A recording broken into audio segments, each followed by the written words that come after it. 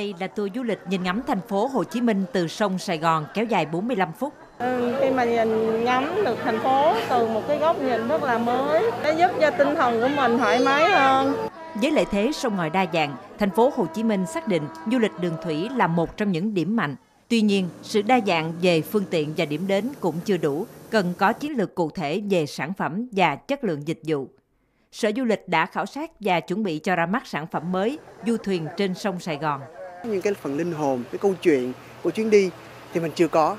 Cho nên là với thông qua cái sự hỗ trợ định hướng này thì Vietnam Just Cruise tin là cái sản phẩm của mình đó, nó sẽ có những cái sự khác biệt. Ừ, không chỉ khách nội địa, chúng tôi nghĩ rằng đây là một cái sản phẩm sẽ đáp ứng được nhu cầu cho khách quốc tế đến với thành phố Hồ Chí Minh. Sở Du lịch thành phố Hồ Chí Minh cho biết, thời gian tới sẽ tiếp tục kết nối với các doanh nghiệp để giới thiệu các tour tuyến tầm ngắn, tầm trung và có thể kết hợp với các nước lân cận bằng du thuyền. Cảm ơn các bạn đã xem video. Các bạn đừng quên nhấn vào đăng ký kênh để không bỏ lỡ những video mới nhất nhé. Xin cảm ơn.